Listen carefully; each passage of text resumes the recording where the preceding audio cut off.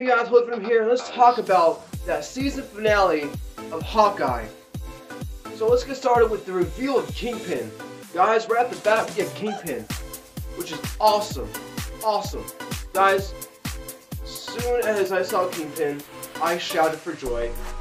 That was awesome. It was awesome to see Vincent D'Onofrio. It was like he never left Netflix's Daredevil.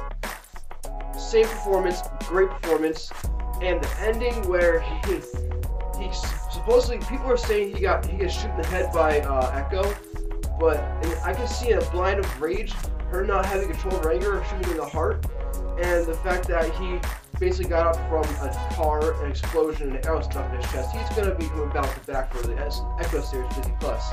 Second, we get the comic book accurate Hawkeye and Kate Bishop costumes. Finally, Hawkeye gets on purple costume. Loved that. I was excited for that enjoyed that. Spider-Man and Daredevil rumors got debunked. People have been saying since the ending of Spider-Man No Way Home, if you have not seen it or if you have not checked out a review of it, I have a video for it right here. You can check that out. There'll be in the comments down below, in the description down below. We, did, we got the rumor of Daredevil and Spider-Man making a cameo debunked, did not make a cameo although people have been saying that they were going to, even Spider-Man, because Kingpin was wearing the same exact shirt where Spider-Man was fighting in the cover.